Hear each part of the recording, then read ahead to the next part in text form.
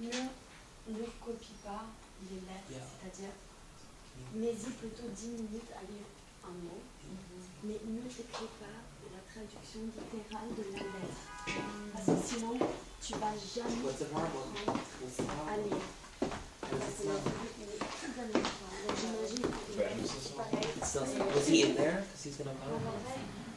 So probably that Um, I said because people 안 주세요?